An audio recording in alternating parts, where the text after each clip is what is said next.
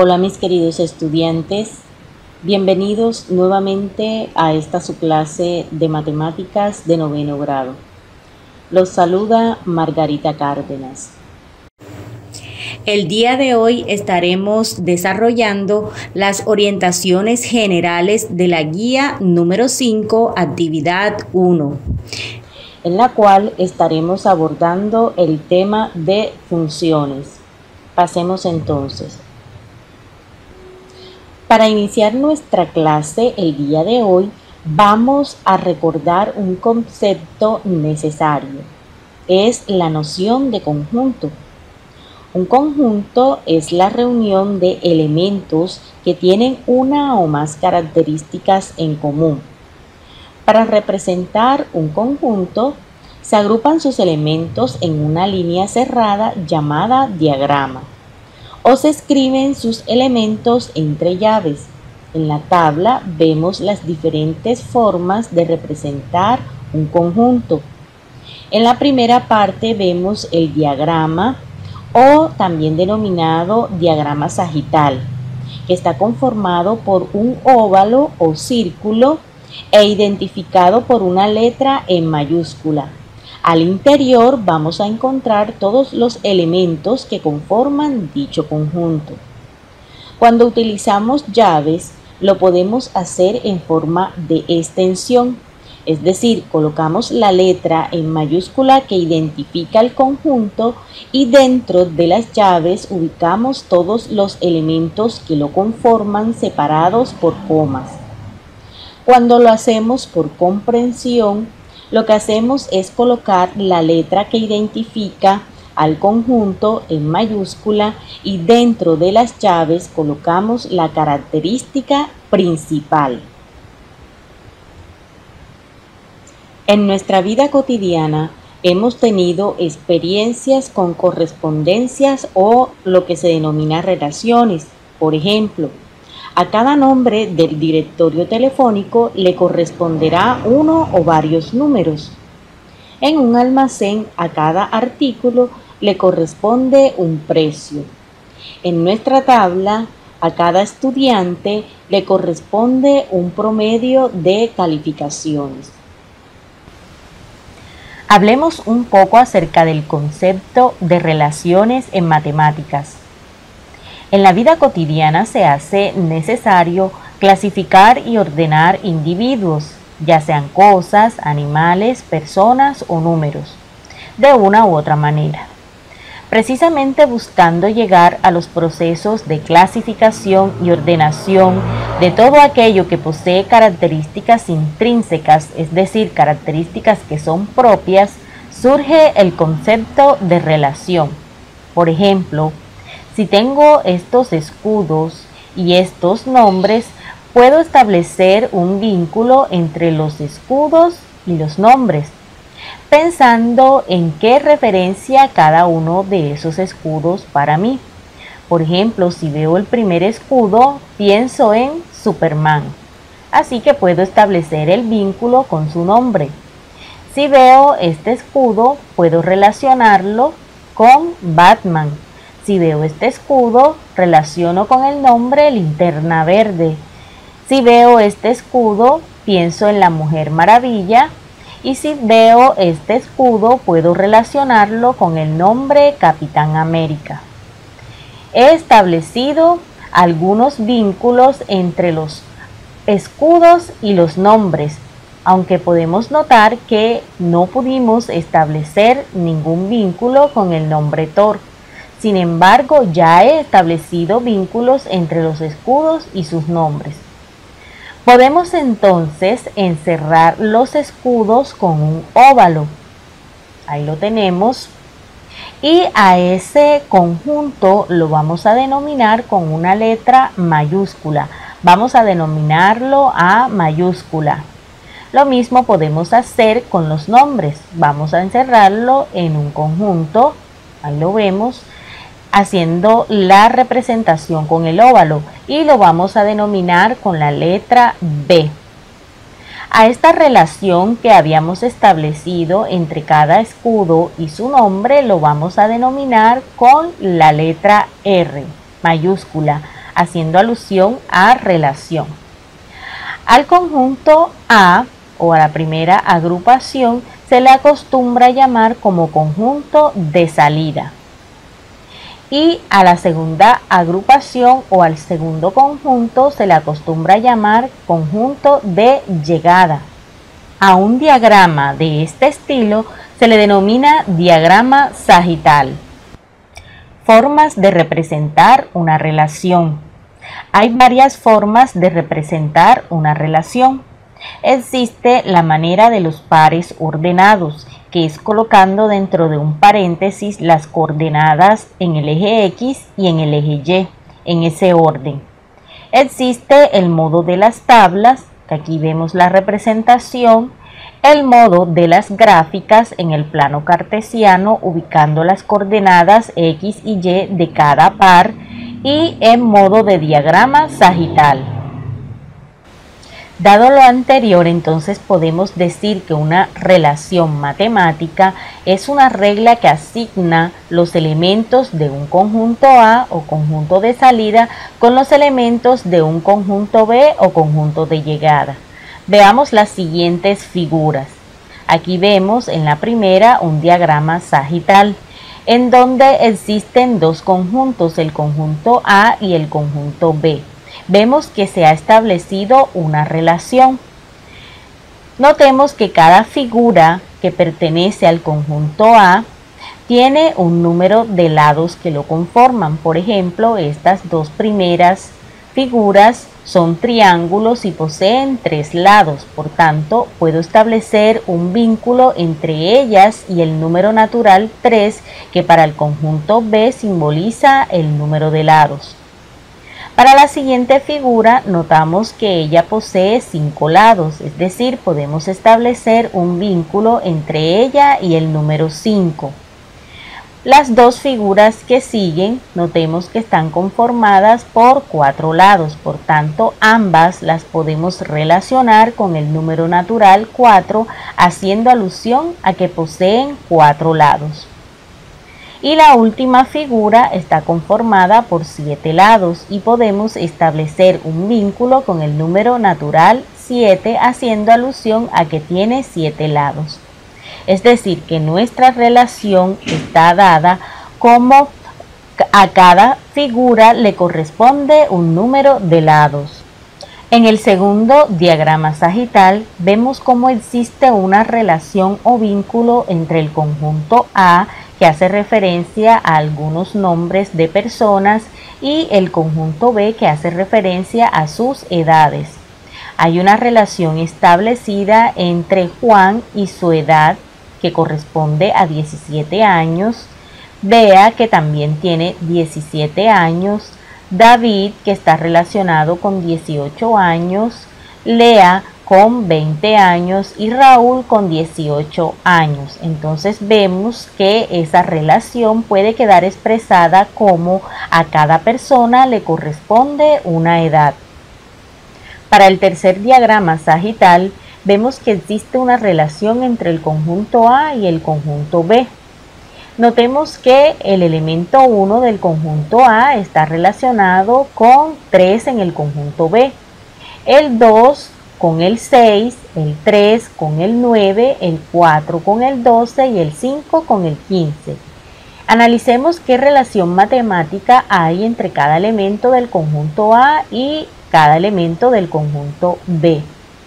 Notemos que si multiplicamos el primer elemento del conjunto A, es decir, 1 por 3, este se convierte en 3. Si multiplicamos el segundo elemento 2 por 3, este se convierte en 6. Si multiplicamos el tercer elemento del conjunto A, es decir, 3 por 3 se convierte en 9, el 4 por 3 en 12, el 5 por 3 en 15. Lo que quiere decir entonces que esa relación estaría dada como a cada número natural se le asigna el triple o se multiplica por 3.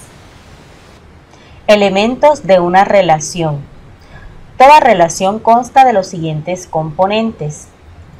Dominio corresponde al conjunto inicial o salida de la relación, es decir, de donde parten las flechas. Codominio es el conjunto de elementos del conjunto de llegada que representa una relación, es decir, a donde llegan las flechas. Y el rango es el conjunto de elementos a los que llega alguna flecha y se le denomina imagen.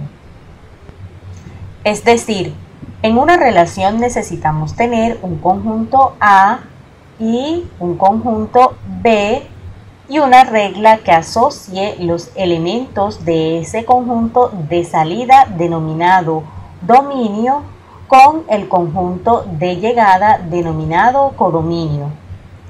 Para nuestro ejemplo podemos identificar esa regla de la siguiente manera. Notamos que el primer elemento del conjunto de salida o del dominio, que es el 1, se encuentra relacionado con el número 2 en el codominio o conjunto de llegada. El elemento 2 o el número 2 en el conjunto del dominio se encuentra relacionado con el 4 en el conjunto del codominio. Y el 3 que se encuentra en el dominio se encuentra relacionado con el 6 en el codominio. Lo que vamos observando es que cada elemento del conjunto A está relacionado o vinculado con su doble en el conjunto de llegada o codominio. Por tanto, podemos establecer esa regla de asociación o de vínculo de la siguiente manera. Cada elemento del conjunto A se encuentra asociado al doble de ese valor que se encuentra en el dominio. De allí que podemos identificar los siguientes elementos de ese diagrama sagital. Podemos identificar la relación que hay, es decir, todas las parejas que se han formado en ese vínculo o relación. Tenemos la primera pareja es 1,2, la segunda pareja es 2,4, la tercera pareja es 3,6, la cuarta pareja es 4,8 y así sucesivamente. Tenemos la forma de, de, identificar el dominio. El dominio serán los elementos que se encuentran en el conjunto de salida, que en este caso son todos los números naturales. Aquí los vemos 1, 2, 3, 4, 5, 6 y se encuentran descritos en esta expresión.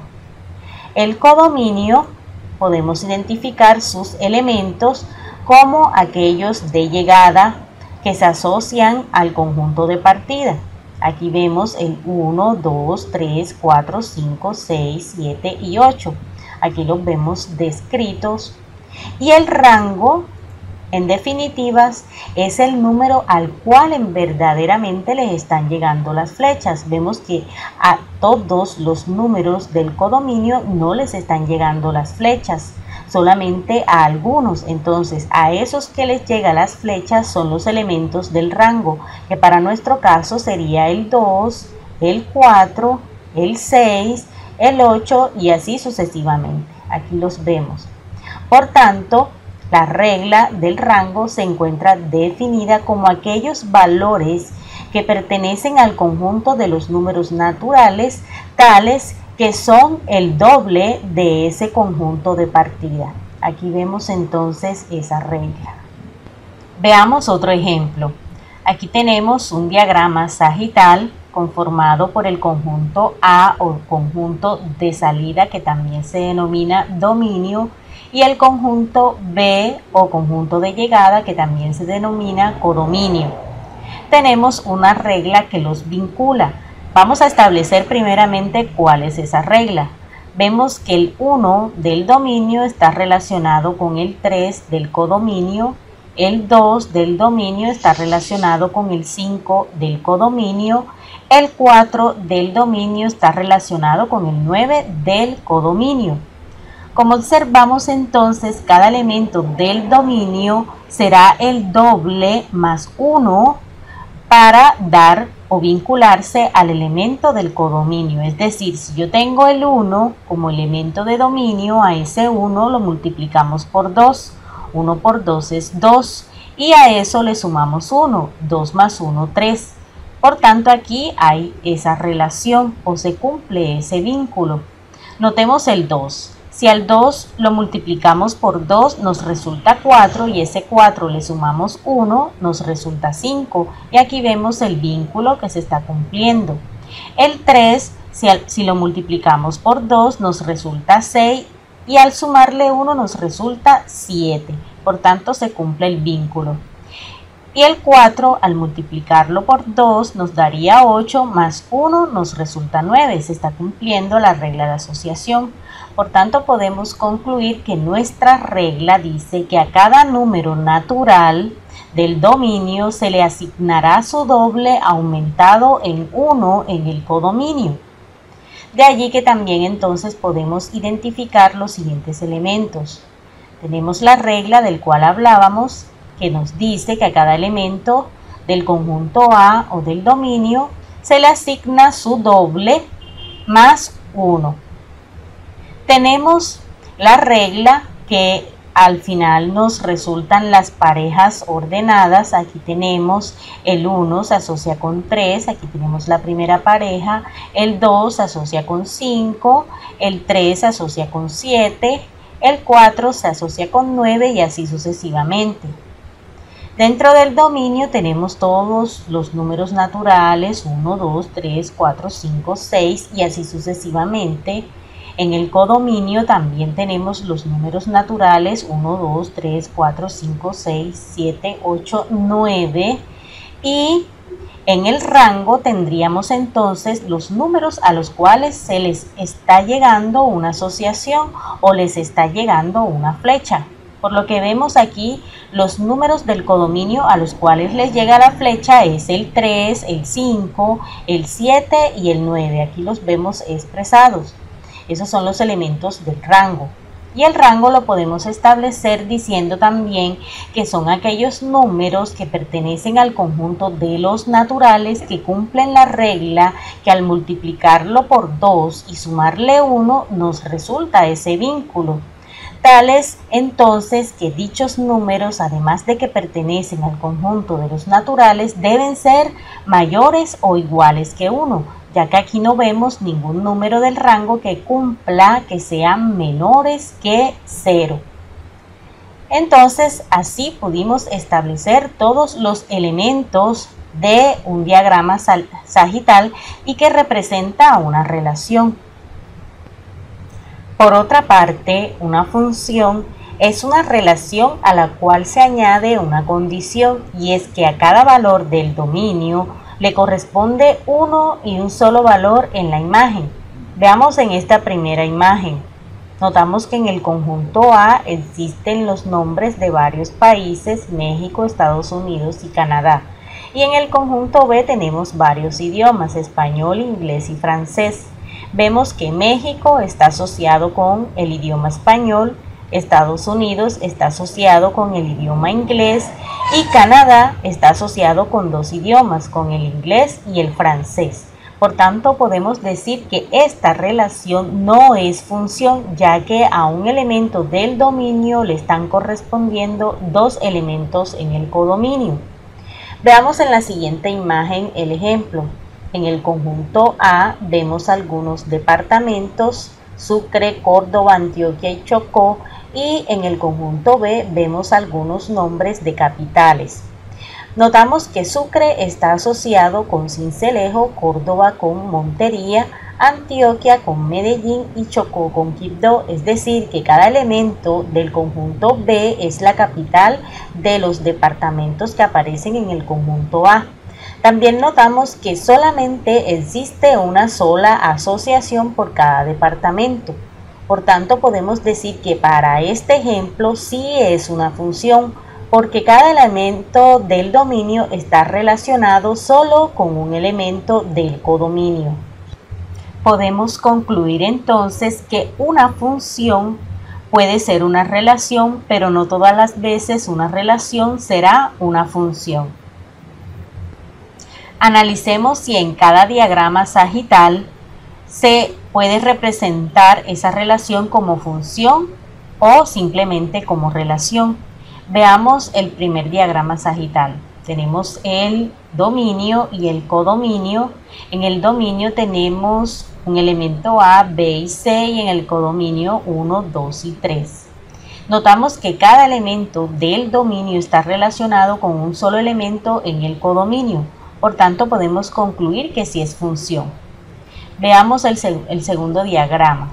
Aquí notamos que cada elemento del dominio está relacionado con un solo elemento en el codominio.